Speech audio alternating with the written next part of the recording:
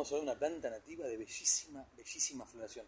Sean muy bienvenidos a un nuevo video de Marcelo Jardines, desde Buenos Aires, Argentina para el mundo. Estamos hablando de la fucsia magellánica, del pendientes de la reina, como se la conoce comúnmente, una planta originaria de los Andes, de, de climas más bien templados a frescos, que es persistente. Es un arbusto que puede alcanzar hasta 2 a 3 metros de altura, que tiene las ramas este, eh, de forma caediza, que le da mucho movimiento y da esta floración en épocas, sobre todo en primavera, las temperaturas rondan entre los 16 a 26 grados, es lo ideal. En media sombra, un sol de la mañana puede resistir, pero un sol de verano ya a partir de Buenos Aires hacia el norte o lugares muy cálidos o el sol muy fuerte la puede quemar.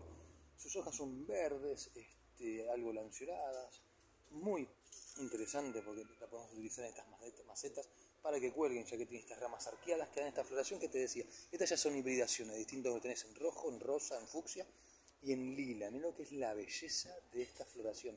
Es súper, súper atrayente, es a muchos polinizadores y entre ellos a mariposas y colibríes por la, la anatomía, la estructura de la flor. Mirá qué interesante. ¿Cómo la cuidas? Como te decía, media sombra, lugares que no le dé mucho el sol. El frío tiene buena resistencia, pero las heladas no tanto. Sino que le vas a poner un lugar que tenga protección debajo de árboles, en un alero con muy buena luz. El sustrato es fundamental, tiene que ser suelto, pero muy fértil y ligeramente húmedo, sobre todo con el calor que tengan muy buena humedad con el calor.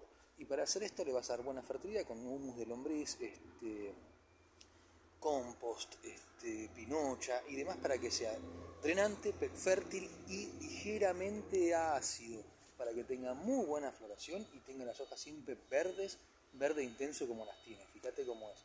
La verdad que es una planta muy interesante para lugares algo protegidos del calor extremo.